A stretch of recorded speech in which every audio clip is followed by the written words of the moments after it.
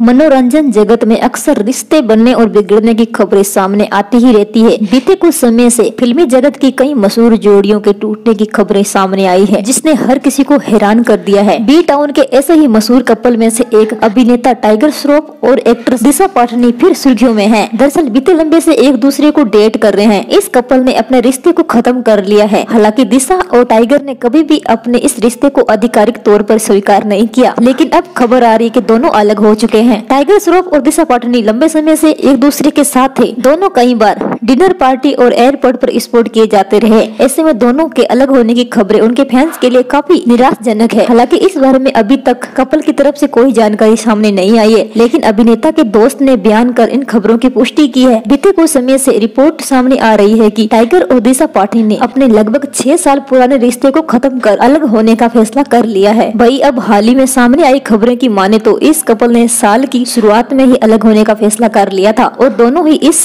समय सिंगल है। Media report के मुताबिक दोनों के अलग होने की वजह पता नहीं चल सकी है, लेकिन यह ज़रूर सामने आया है कि बीते एक साल से दोनों के बीच काफ़ी मन मुटाव चल रहा था। इस बारे में टाइगर के एक दोस्त ने हाल ही में पुष्टि की है। टाइगर और दिशा पटनी का रिश्ता खत्म हो चुका है। तो आपको इस वीडियो के बारे में क्या कहना है, मुझे कमेंट बॉक्स में ज़रूर बताए। यदि आप टाइगर श्रॉफ के फ़ैन है तो वीडियो को लाइक, शेयर करने के साथ ही चैनल को सब्सक्राइब ज़रूर करें। Thanks for watching.